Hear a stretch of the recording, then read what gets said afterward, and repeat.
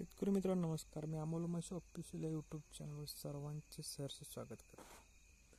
मागील भागामध्ये आपण भाग दोनमध्ये आपण पावर टेलरनं माती उडवली इथंपर्यंत बघितलं होतं. आता भाग तीनमध्ये मल्चिंग पेपर कसं हाताळणे होलं कसं पाडणे बीज प्रक्रिया आणि बीज लागण हे असं आपण बघणार आहे. आपण कारली सिरीजचं पूर्ण आपण भागच करत आहे.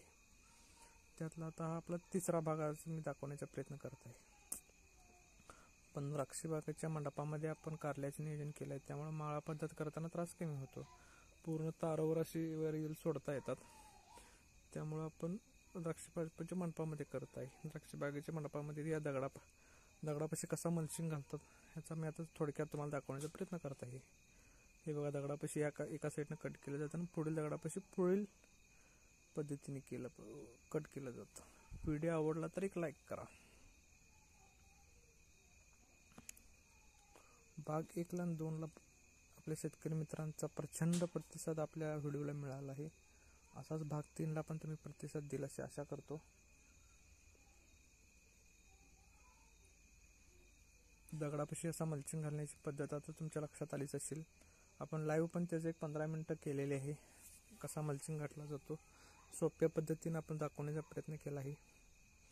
या दगडापाशी ह्या साईडला एका बाई त्या मागच्या दगडाला त्या बाजूला ह्या दगडाला ह्या बाजूला. असं आपण केलं आहे आता पुढील आपण फुलं कशी पाडलेत आणि किती अंतरानं पाडले त्याचा पण जुगार दाखव दाखवतो अशी दगडापाशी अशी व्यवस्थित अशी माती घातली जाते आणि ताण देऊन मल्चिंग घातला जातो. आता उन्हाळी वातावरणामध्ये कसं होतं हे वारं कायदोळ ज्वारा सुटल्या जाते त्या व्यवस्थित मल्चिंग घातला जातो. आता आपण होलं कशी पाडलेत ह्याचं पण आपण आता दाखवणार आहे. होलं व्यवस्थित होलं पडलेलं तर आपण अडीच इंची एक पाईप घेतले आणि पाईपला ते असं आपण जुगाड तयार केलेला आहे.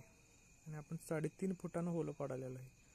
त्याला पुढे एक तार केलेलं आहे. त्या तारेचं अंतर आपण ज्या अंतराचे होलं घ्यायचे आहेत कुणाला एक फूट दीड फूट त्या पद्धतीनं दोन फूट त्या पद्धतीने पुढे तार करायचे. म्हणजे आपल्याला पुढं मार्किंगचा त्रास होत नाही. आणि त्यामध्ये आपण असं कोळसा टाकून जाळ केलेला आहे. त्या कोळशाच्या एकदा तापली की नाही मशीन एका तासाभरात एकरभर होलं मारायची होतात शेतकरी मित्रांनो.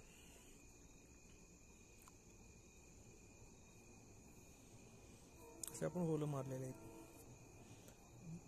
बी पण आपण एक चांगल्या नामांकित चांगल्याच्या दुकानातून बी आणलेलं आहे.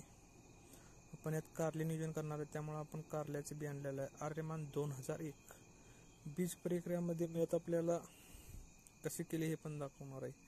आपण एक एकर लावणार आहे त्यात आपली पंधराशे झाडं बसणार आहेत कारल्याची त्यामुळं आपण काय केलेलं आहे पूर्ण पाकिटमधलं आपण बी मोजून काउंट करून घेतलेलं आहे. त्यात एखादं बारीक तीन बी येते ते बाजूला काढून टाकून आपण असं टोटल सहा पाकिटमधलं बी मोजून घेतलेलं आहे. त्यामध्ये आपण कोमट पाणी एक लिटर एक लिटर कोमट पाणी आणि जर्मिनेटरचा वापर करणार आहे. पन्नास ग्रॅमच्या पाकिटमध्ये अडीचशे बी येतात शेतकरी मित्रांनो. असं व्यवस्थित मी तुम्हाला पूर्ण सिरीजमध्ये दाखवण्याचा प्रयत्न करणार आहे. आपण आर्यमान दोन हजार एक ही व्हरायटी घेतलेली. आपण कोमट पाणी एक लिटर घेतलं आहे. त्यामध्ये तीस एम एल जर्मिनेटर आपण टाकणार आहे. कोमट पाण्यात पहिला बी टाकून घेतले. सर्व बी एक लिटर पाण्यात आपण कोमट पाण्यात टाकून घेतलेलं आहे.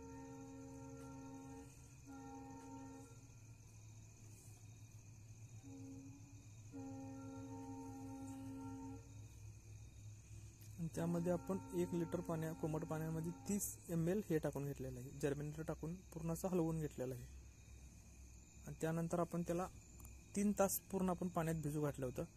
आणि असं पेपरवर पूर्ण असं आपण ते असं वाळायसाठी हे करून घेतलेलं आहे टाकून घेतलेलं आहे. ते एक अर्धा तास टाकून घेतले.